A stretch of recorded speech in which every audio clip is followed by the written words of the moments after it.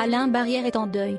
Le chanteur, lui-même hospitalisé après un quatrième AVC, vient de perdre son épouse Agnès, emportée par un fulgurant cancer du pancréas début décembre.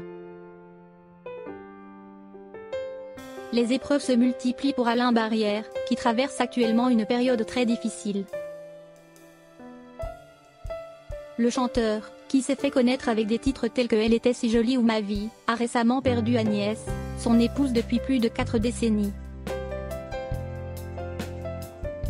Une tragique disparition pour le chanteur originaire de Bretagne, contraint de dire adieu à la femme de sa vie, qui souffrait d'un cancer du pancréas. Heureusement qu'elle était à mes côtés pendant toutes ces années, dans les bons moments comme dans les épreuves, avait-il confié à France Dimanche en 2007. L'épreuve est d'autant plus douloureuse pour Alain Barrière qui se bat lui-même contre la maladie depuis plusieurs mois.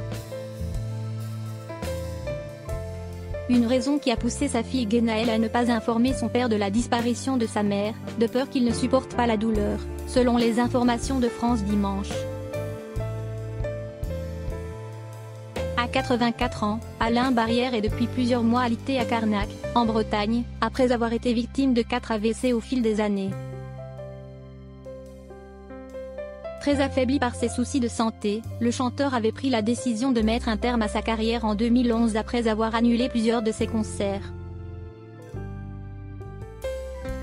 Il y a quelques années, son agent Fabien Lecoeuvre s'était confié sur le mal-être de son client et ami. Je l'ai eu au téléphone, il m'a dit qu'il souffre le martyr, qu'il a l'impression de recevoir des décharges électriques dans le dos.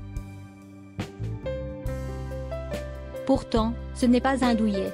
Régulièrement à son chevet, sa fille Genaël est désormais seule pour s'occuper de son père, après avoir inhumé sa mère lors d'une cérémonie intime à la Trinité-sur-Mer,